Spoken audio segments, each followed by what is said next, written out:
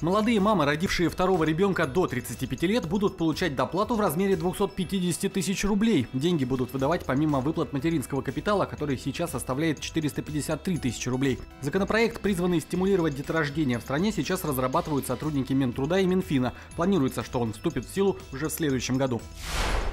Жителям Татарстана выплатили 412 тысяч рублей за заявки в народный контроль. Все они сигнализировали о продаже алкоголя ночью, а также о точках, не предусмотренных для торговли спиртными напитками. Напомню, на вознаграждение за сообщение о нарушениях в сфере торговли алкоголем президент республики выделил 1 миллион рублей.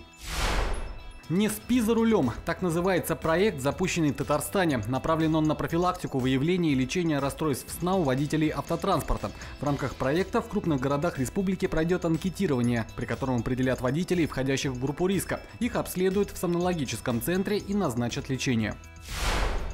Татарстане за последние 7 лет не было допущено ни одного лесного пожара. Таковы данные Минсельхоза Республики. На середину августа зафиксировано 258 так называемых термоточек. Мест несанкционированно пало сухой травы и кустарника. Превратиться в пожары им не давали отряды МЧС и добровольной пожарной охраны субботы, 19 августа, меняется расписание пригородного поезда «Набережные Челны» Ижевск, курсирующего по субботам и воскресеньям. Со станции «Набережные Челны» электричка отправляется в 6.15. На остановочный пункт 198 километр прибывает в 6.33, Тихонова в 6.39. Далее по расписанию.